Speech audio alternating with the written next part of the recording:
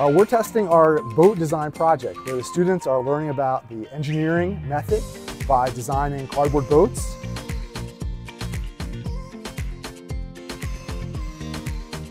Uh, the inspiration is that they're learning about the value of prototyping and how the engineering method is about making something and then improving it.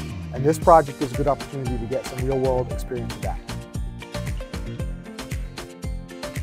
Around two weeks. That's how hard we, like how much we work on this boat. But we've been on this project for like a month or more than a month.